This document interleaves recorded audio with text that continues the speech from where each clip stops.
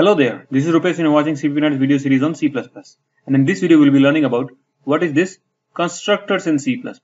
Okay, so we'll note down few points about these constructors here which will make sense when we will start programming. So first point is constructor is a function and its name is similar with its class name. Okay, so whatever the class name would be, this constructor's name would be the similar name. Okay. And the second point is they get called automatically when you create any object of that class. Okay. So get automatically get automatic call when we create an objects of the class. Okay. Third point is it doesn't have any return type. So generally if you are writing some function, we type return also, right? Like if you are writing like void and print and you're printing something like cout hello like this, you write this return type like void or integer or something. If you're not returning anything, you'll be writing void here, okay? So this constructor, which is a function, does not have any return type, okay? So that is another point here. So no return type okay and fourth point is if we do not specify any constructor in our class your compiler will do that okay? So your compiler will internally specify the constructor for that class. So if not given by user compiler will create itself okay? So these are few points we should always keep in your mind when you are dealing with the constructors okay? So let's look at the code to understand this. Or yeah before going for the code here let's talk about some requirements so what we are going to code here okay? So let's suppose there is a requirement like you have this x axis and you have this y axis okay? And there are few points here like here and there like this okay? So this is one this is one so this point is like 1.5 and this is 1 so x is equal to 1 and y is equal to 1.5 or 2 let's keep it 5 here. So you want to store this data. Okay? So we'll create a class which will do this. So let's look at the code now. So as I told that we will be having some class and the name of that class we can keep it like point. Okay? And we will be having x and y axis and they could be in point so we will keep it like double x and double y here. So what is this first point here that it is a function and its name is similar to the class name. So your constructor look like this. So this is exactly the same name as your class name here. And yeah, there is another point here. There are three types of constructors. First is default constructor. Okay, so in default constructor, second one is parameterized constructor and third one is copy constructor. So we'll see all these constructors here. Okay. So this one is going to be a default constructor. So default constructor will construct your object with the default values. Okay. Like this. So first let me write everything then you will understand it a little better.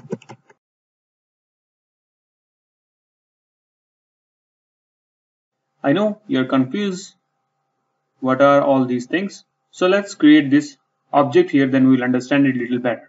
So let's create the object of this point. So we'll create a P1 here and another one would be P2 with some values like 1.3 comma 3.4 okay and we will create a point p3 in that we will copy this p1 okay? So these three objects are nothing but the demonstration for all these constructors here. Okay? So if this p1 is getting created because whenever you create an object the constructors are being called. Okay? So if you are creating object like this without passing any parameters like this then in that case this default constructor would call here okay and if you are creating object like this and passing some values. So in that case, your parameterized constructor would be called here.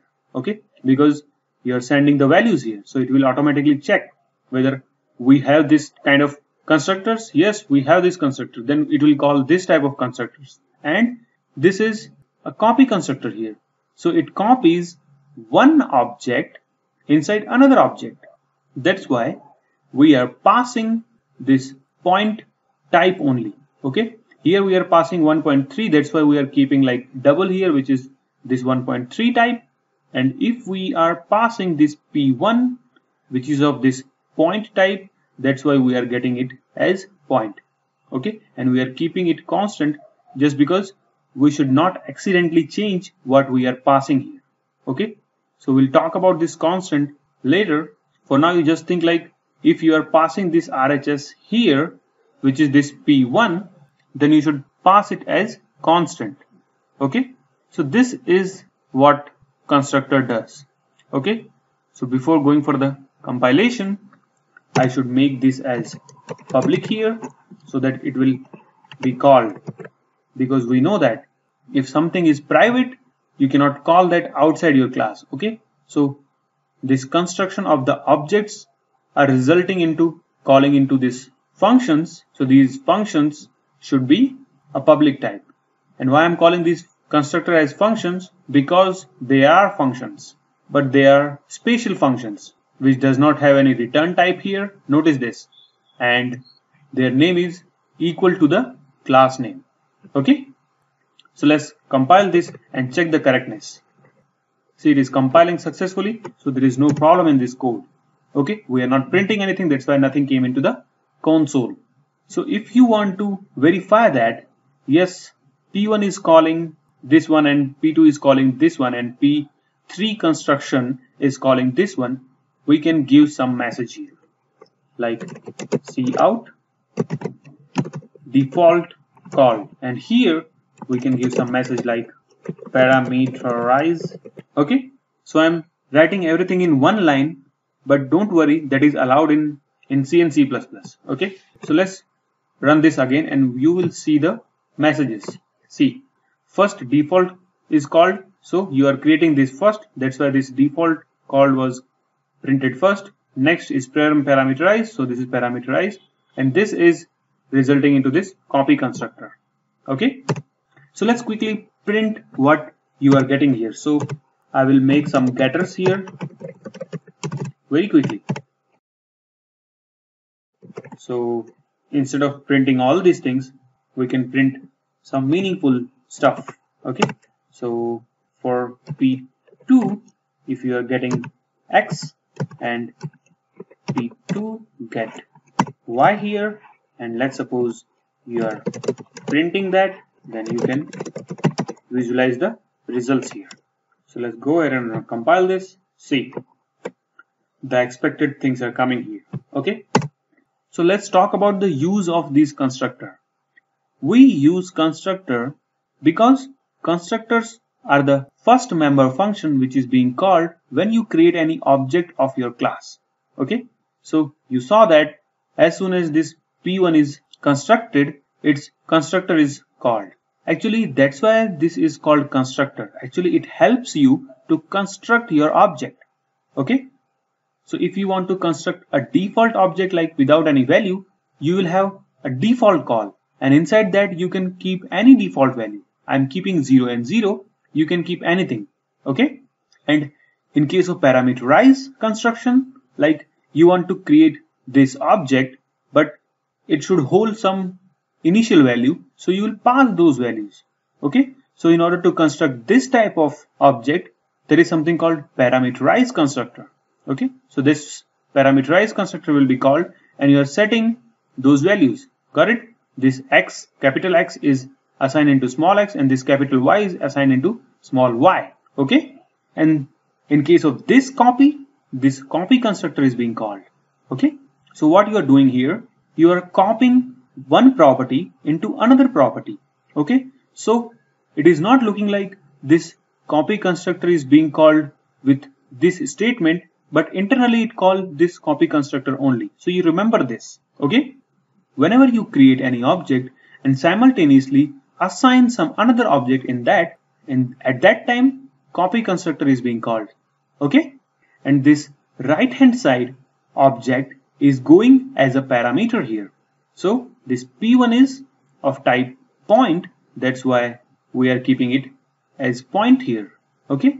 And this reference is just because we don't want to create another object this RHS so we are keeping it as reference here which will indirectly point to this P1 only. So if you have gone through the reference variable video in my playlist you will be very easily understand this that why we use reference. Okay? So if you don't know let's keep it like this. This P1 is coming here and this RHS is nothing but this P1 only okay? Just because of this reference here. So this RHS is referring through this P1 only. Okay? So we have RHS here which is nothing but this P1 so in that case P1 dot X will give you the X part of this P1 so you are initializing that X into this X which is this P3X so if you are not writing anything, it becomes P3, okay? As this x was becoming P2x, okay? And this x was becoming the x part of this P1 here. In the same way, this x will become part of this P3, okay? So it is something like this. You was calling this default constructor on this P1. So you was calling this parameterized constructor on this p2 and you are calling this copy constructor on p3 okay? That's why you are getting these data members like this. And in order to get the RHS data member you have to type it like this. RHS.x then only you can get the x part of this RHS okay? So you will initialize that x part into x and y part into y. Okay? So ultimately what you achieved? You copied whatever was there in p1 into p2 sorry p3 okay?